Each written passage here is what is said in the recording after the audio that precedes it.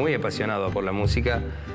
Un tipo que las 24 horas estaba componiendo y creando temas y tocándote un cosito, una chapita, todo el tiempo con algo, con un tenedor en la mesa, comía la copa, el plato y sacaba distintos sonidos. Entonces, con algo siempre componía y creaba música.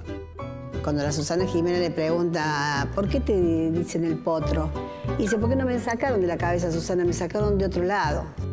Imponía modas, tanto con las botas, con su forma de vestir. Eh, cuando él fue con el pelo largo, todos empezaron a dejar el pelo largo. ¿Qué hizo él? Se cortó el pelo. Cuando se cortaron el pelo todos, ¿qué hizo? Se tiñó. Él quería ser distinto de los, de los demás. Un carisma, un ángel, estaba muy angelado, era una maravilla. Le ponía el corazón a todo a morir.